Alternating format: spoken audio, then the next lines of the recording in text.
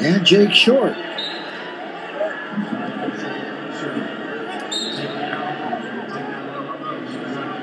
The winner here going to get Joseph Smith.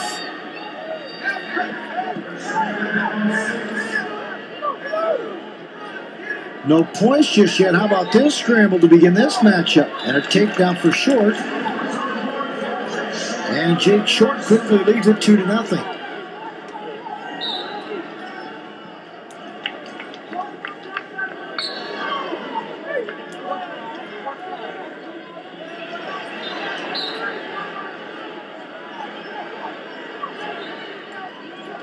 Just underway. Here at 157, Chase Delande and Jake Short. It's Edinboro, Minnesota.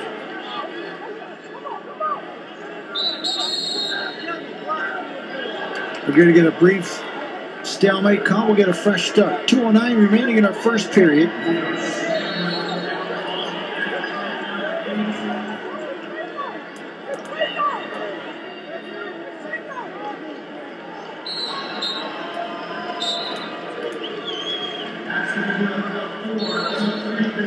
For one is Delande, and it's a 2 1 score.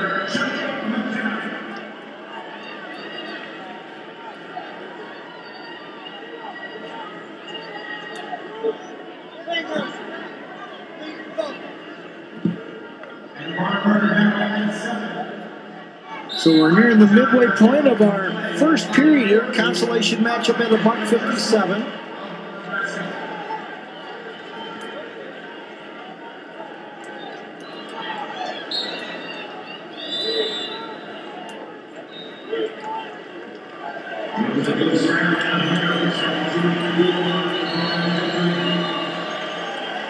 As the Penn State fans will come to their feet, Jimmy Gulibon all over Luke Pletcher, and that Ohio State Buckeye has just been extinguished.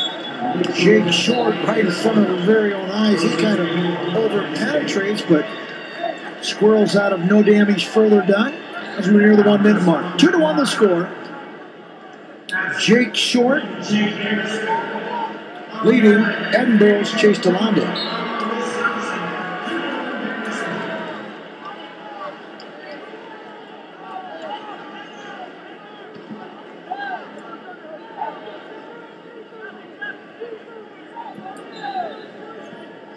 Down inside 40 seconds remaining here in the first.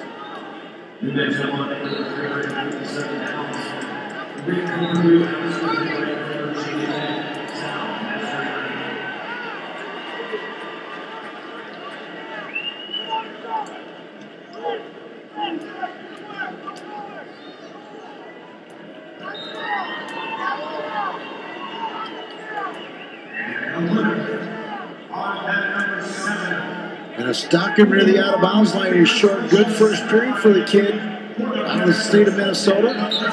Wrestled for his dad to Jake Short. And the first period is in the books. A two to one. Jake Short lead.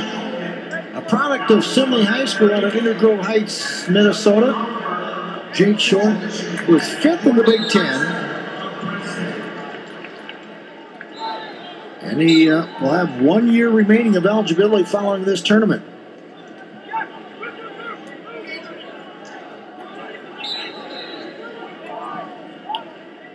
Delande was second out of the EWL and trying to conclude his wrestling campaign as an All American, but he's going to have some work to do. Here as we're just underway in the second, he does trail it two to one.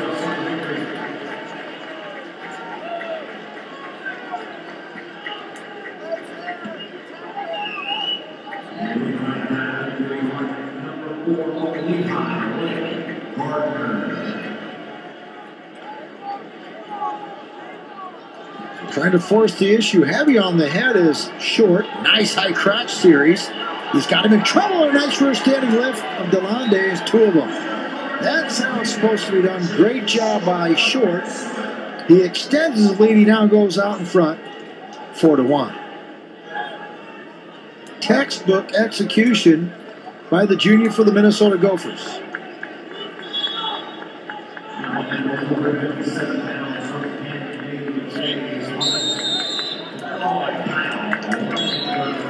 Forty seconds to go. We got a little bit of blood.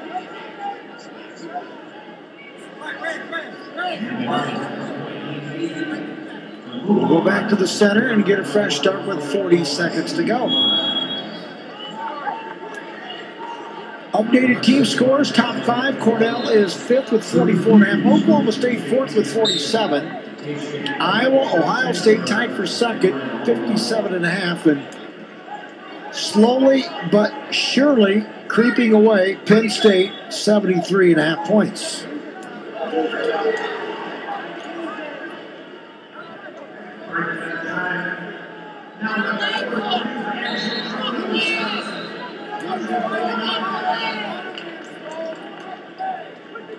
It is interesting to just listen to both sides of the fence the red corner, the green corner. One will tell you that they believe the opposite guy is stalling, and similarly, we hear the same out of the other camp. So you got to be pretty tough minded to be a guy in a gray uniform with black stripes. Can't always hear all the chatterbox and let it affect your quality as an official.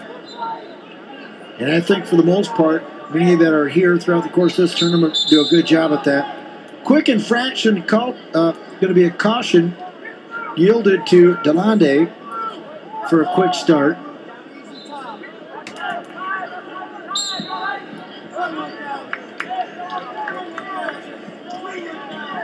And out for one is short. It's now five to one.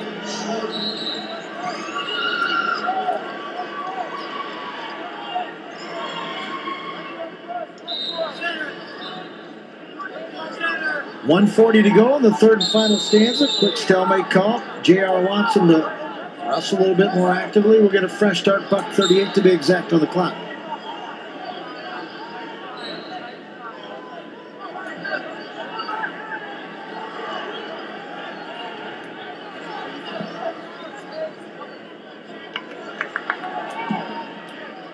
Short and Delande, a consolation matchup here at 157.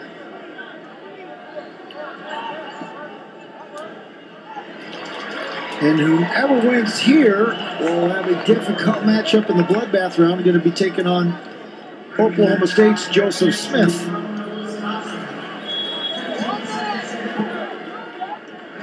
Down inside a minute. Five to one lead for Minnesota Gopher Jake Short.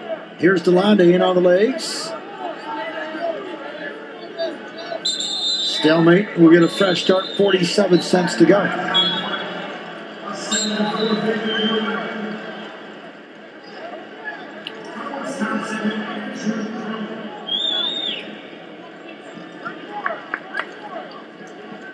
Nice high crotch series by Short. Two more, and that's going to pretty much do it. He's going to try to extend his lead, maybe get some bonus points.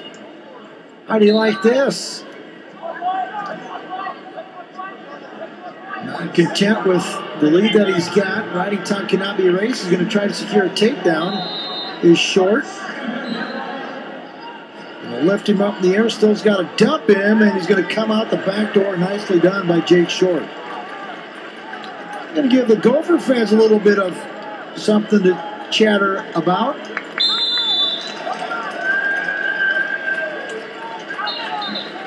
Jake Short, impressive indeed. With riding time, final score.